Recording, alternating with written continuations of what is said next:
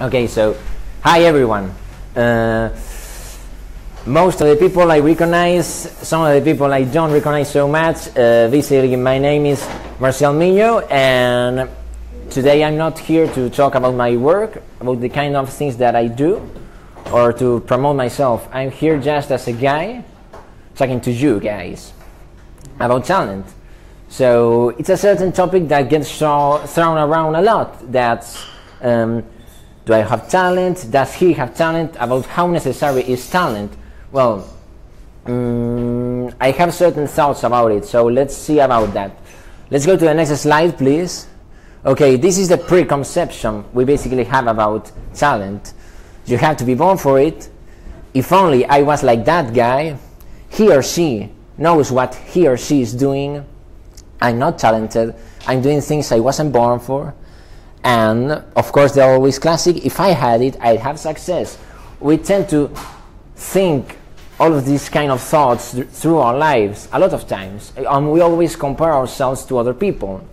But let's take a look at about talented people and maybe talentless people. What's the difference between talented people and talentless people? Here we have a lot of faces but how can we know if they have that supposedly magic property that we're talking about. What makes them different about us is that they have money, is that they are smarter, is that they have more jobs or better jobs, or maybe it's that they, we just think that they have success, they have achieved success at some level. We think they are happier than us because they have a more realized life okay. That uh, that's not so much. Let's going to make a quick comparison. The best example always gets thrown a lot is Wolfgang Amadeus Mozart. Wolfgang Amadeus Mozart is the classic this guy is, was born with a talent all encompassing this guy was a genius etc etc etc and we always have the, that impression that how do I compare to that kind of guy? Who am I well, let's look at some highlights of his life. Next slide, please.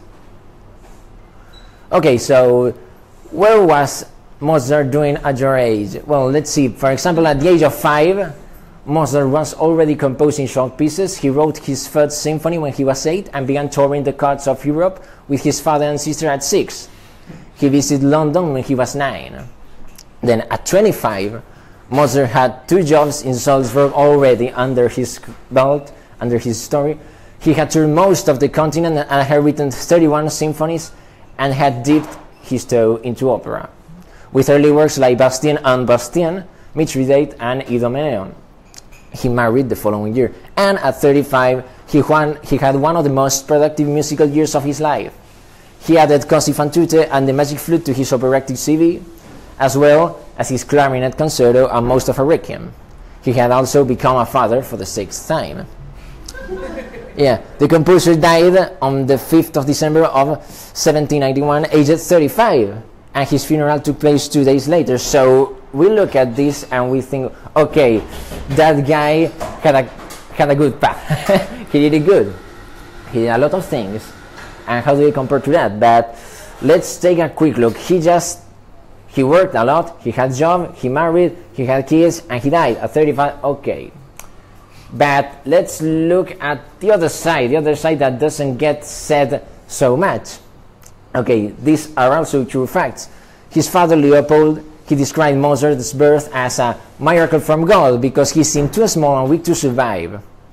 Leopold was usually known as being a tyrannical, mendacious, and possessive teacher travels during his childhood days always came with severe illness, leaving him pale, small, delicate, and with a damaged ear. As usual for the composers at the time, he worked without any financial security or extra benefits, and his services were strictly paid for work, without any royalties or such. His work for the Archbishop of Salzburg actually ended with the Archbishop's secretary giving Mozart a literal kick in the behind. So that was the most kind of humiliate, eh, humiliating kick out you can get. So he lived many years in extreme poverty, during which four of his children died at infancy. he, and he only started a path to economic recovery just before his death by extreme illness.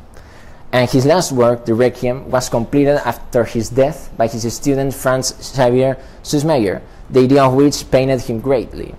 His last words to his wife were, I shall die now when I am able to take care of you and the children. Now I will leave you unprovided for. Two seconds later, he was dead. He was dead, and with certain eschatological details I'm not going to share. He was buried in a common grave without a name two days later. This doesn't mean that he was in a in a in a common in a common grave with other bodies. This means that he wasn't going to have a tombstone, and ten years later, his body could be extracted to be replaced with another more recently deceased person. So, what does leave us at? Leave us, okay, this is not so cool anymore. This is this not doesn't make me so envious of him anymore. So this guy had it rough too.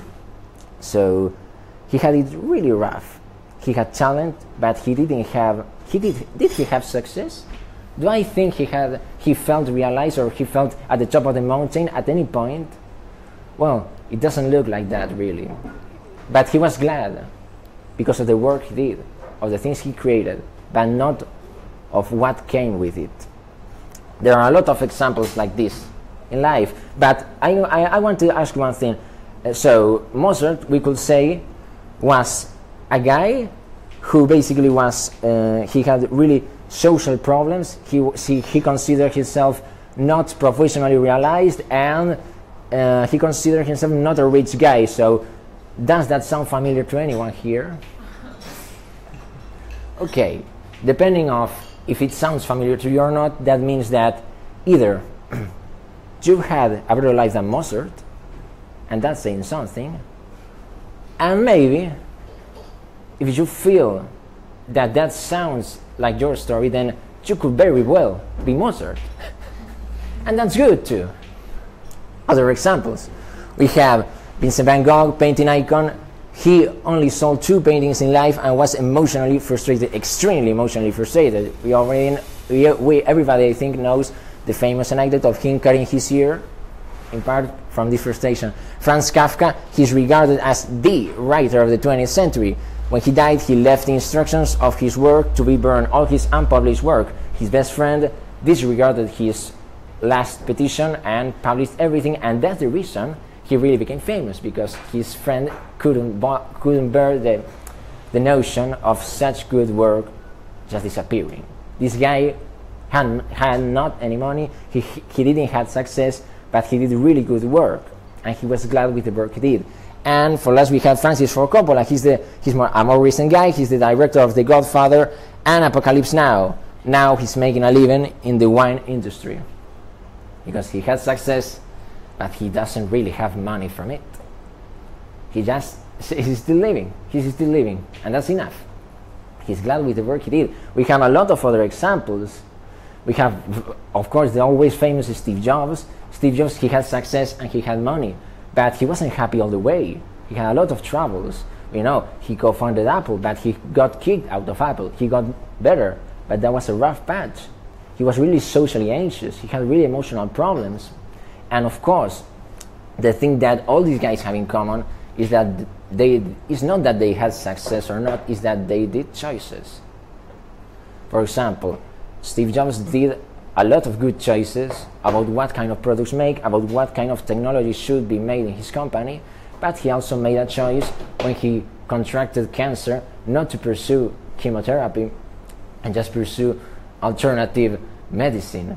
So that's a choice he made and he does and he didn't he never regretted it because it was his choice. Sometimes you score, sometimes you fail horribly, but that's how it goes. It was your choice and normally you're pretty glad about the choices you made because it were, they were your own.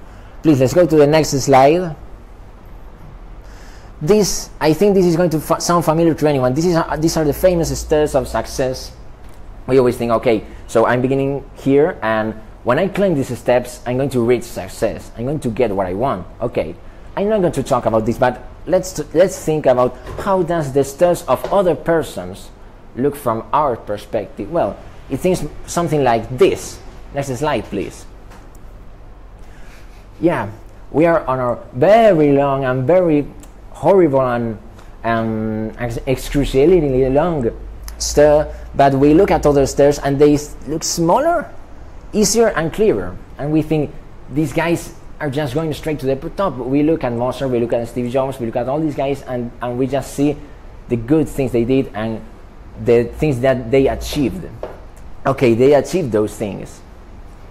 But we have to think that they had a lot of patches that we can't see and we may never see.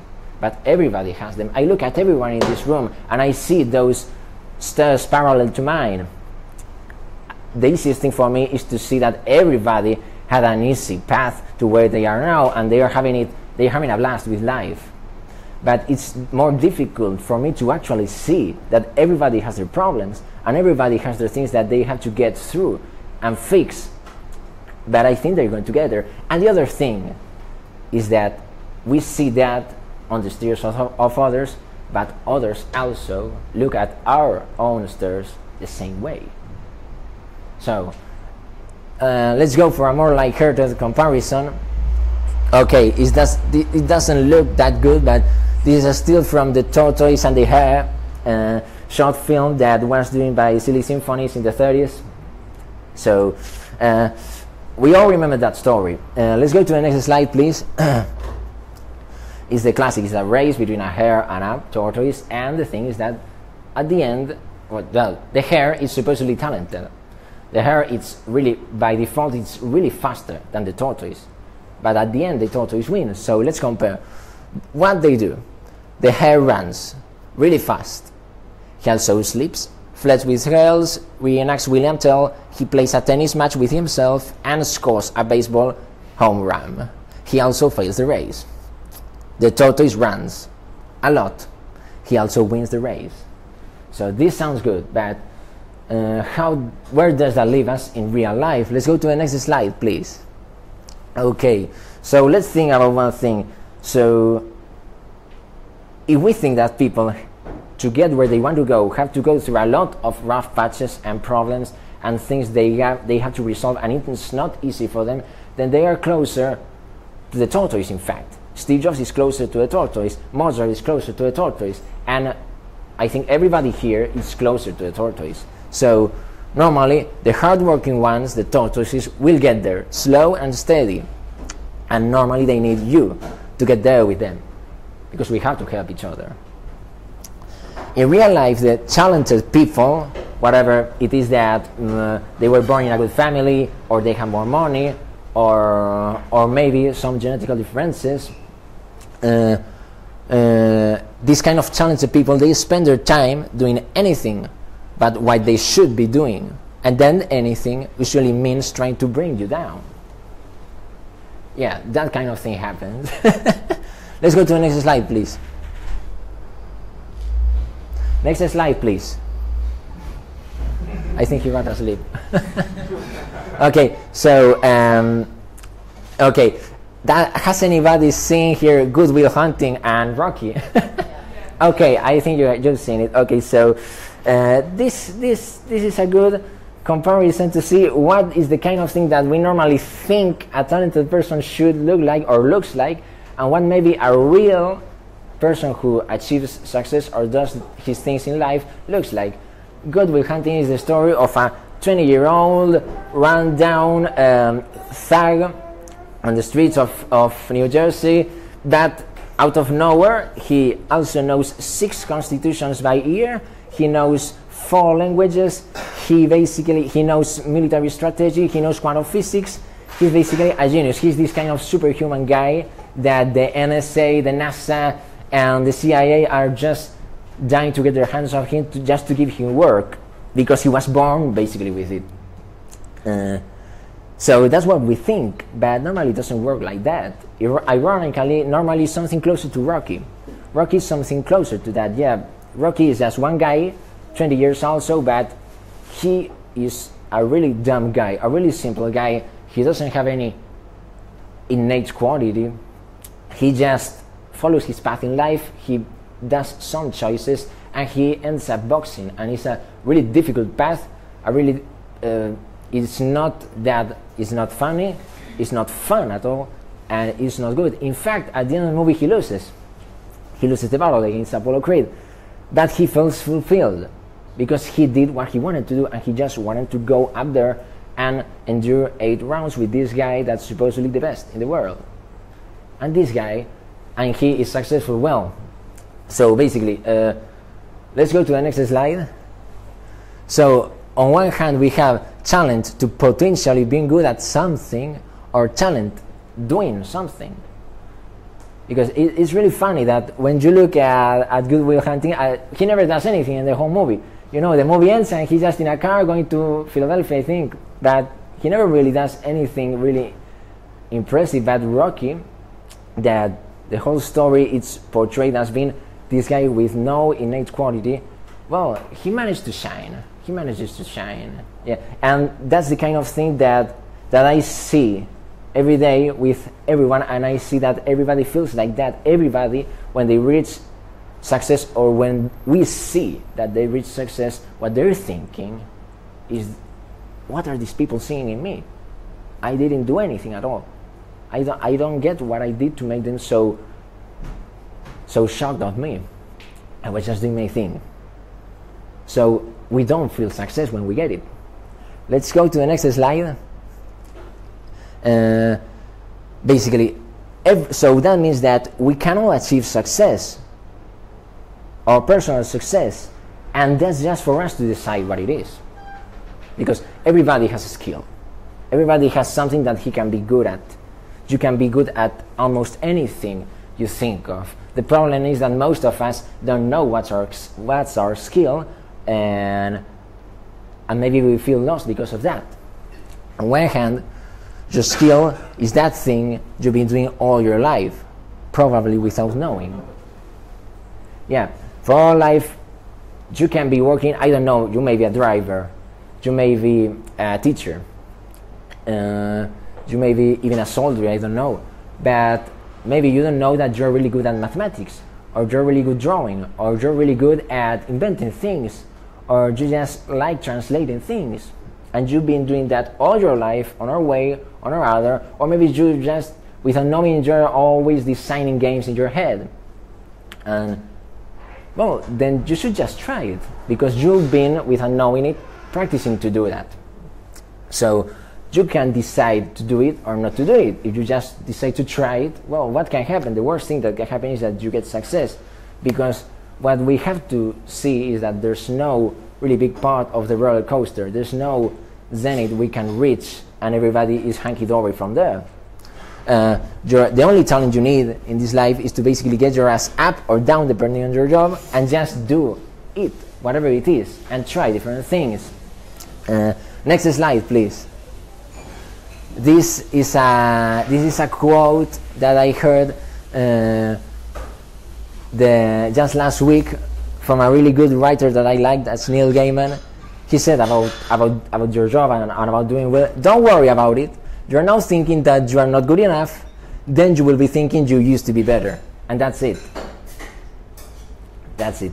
So, um, let's say that uh, if we think, if we, if we follow the narrative that depending on our choices, we may reach our personal success, we can reach things that we propose to do without thinking of what other things our success may be. If, ju- if we just think about what we could or we would want to do, then everything you do was by your own choice and it's got a positive effect on it.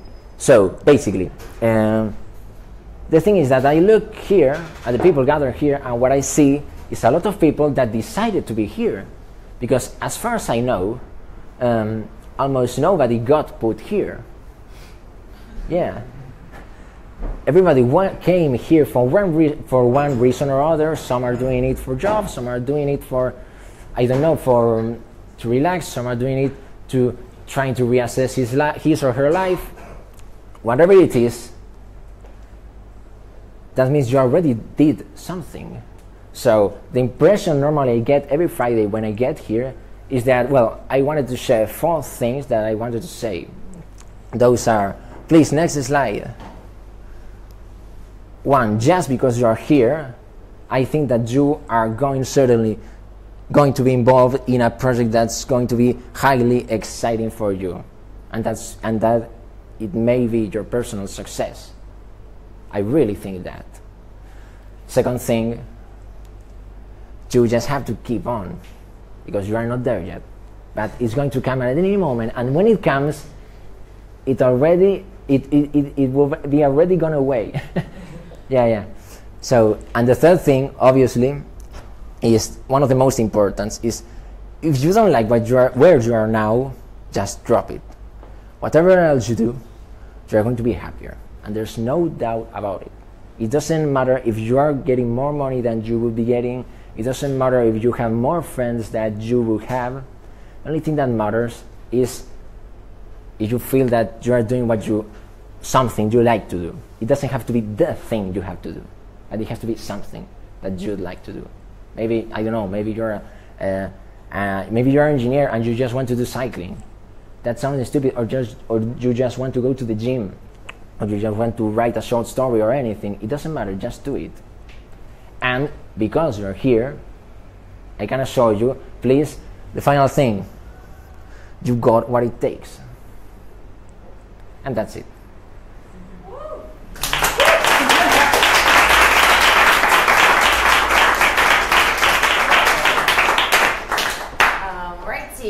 Thank you very much, Marcial. As always, we're going to round up with uh, a short.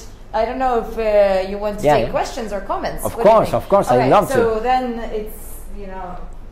We understand. what it- Yeah. What's, Any your, comments? what's your biggest skill you don't know of? Wow. Well, I have a few suspicions. Skills that I don't know of. You mean? Yeah. Wow. Mm, I think I may be a good father. yeah. You don't, don't know it yet. Of course, it's a skill I don't know of. Or But sure if you don't know. yeah, yeah, but I have an impression. I just have an impression. Yeah. Mm-hmm. Any talented people here? Everyone, everyone is talented. yeah, please, boy. Um, so the last four points, I couldn't help the impression that you're trying to say that all people that aren't here are lacking those four things. No, they are not lacking them. They specifically got them.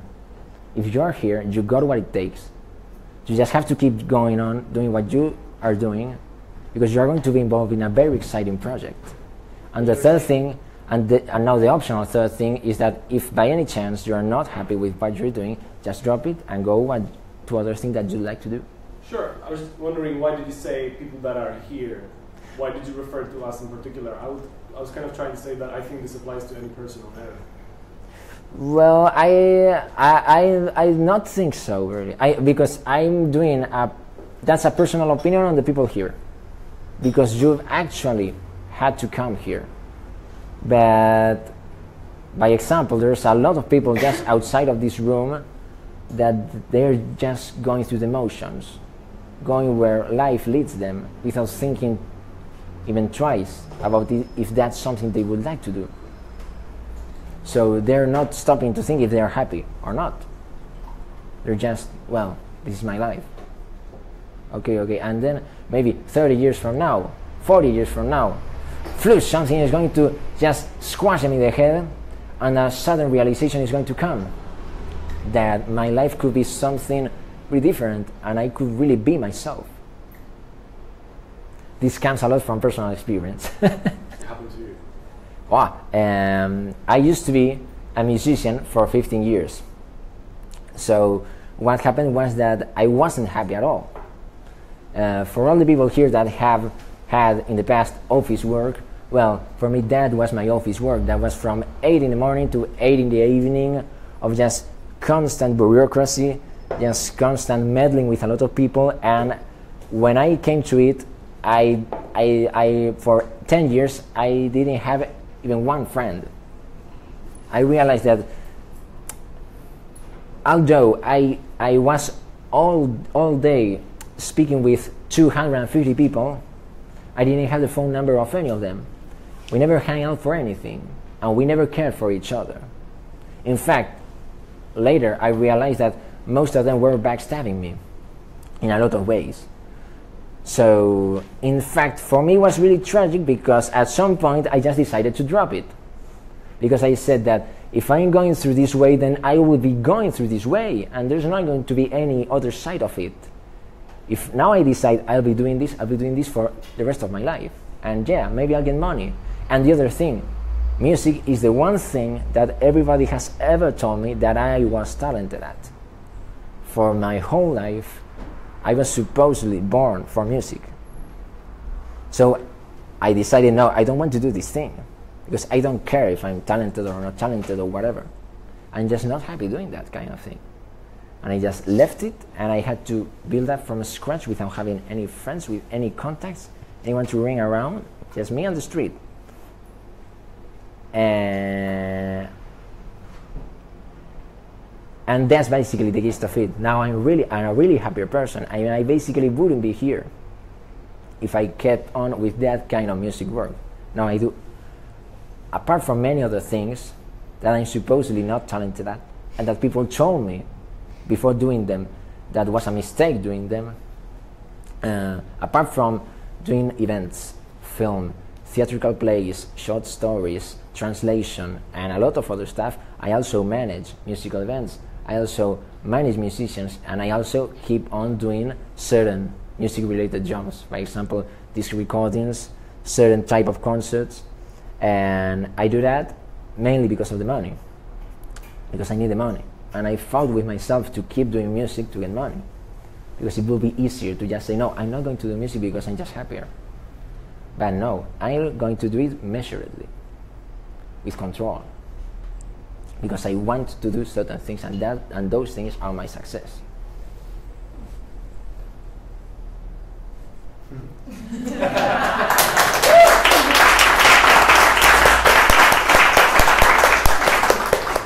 okay, so any other questions, or that's it? Cool. Oh, please. Do you ever, because you work kind of developing others and things like that, do you ever do any exercises with them to uh, uncover perhaps hidden talents or skills or strengths or anything like that? Or do you have a process that you use? Yeah, what I do is that when I need someone to do something, I just teach them. By example, uh, two years ago, I had to, I had to do a theatrical play, and the problem was that here we are really under resourced to do theatrical plays and that kind of thing. So at first, the producer told me we would be able to get actors from the acting school here and the other side of the of the city. That the very first day of the audition, the news came that the, we, we won't have that. We're going to have to resort to students of producing, uh, producing students uh, for one of the technological institutes here. So these were people that had no background at all in acting, and it was a little bit. Um, it was a bit of a difficult play, basically because we had just one month and a half. So what I did is just I teach them. I teach them with certain procedure. You can't teach anyone to things the same way. You have to know how to do things. So I can teach you the things that I know how to do, and the things I've learned to do. I can teach you to translate. I can teach you to write. I can teach you to act. I can teach you to play music. Maybe I can teach you to just be a little bit, um, to have a little bit of work ethics. But I can teach you to drive. I can teach you to, I don't know, um, well, I think maybe I can teach you how to shoot again or how to kill somebody. but yeah, it depends on. I'm a curious guy. I'm a curious guy, so and I, but I am the, of the impression that if you manage to get another person on your side, basically that person can do anything if you lead he or her through the right path, he or she to the right path. Yeah. Okay. Alrighty. Thank you very much. Yeah.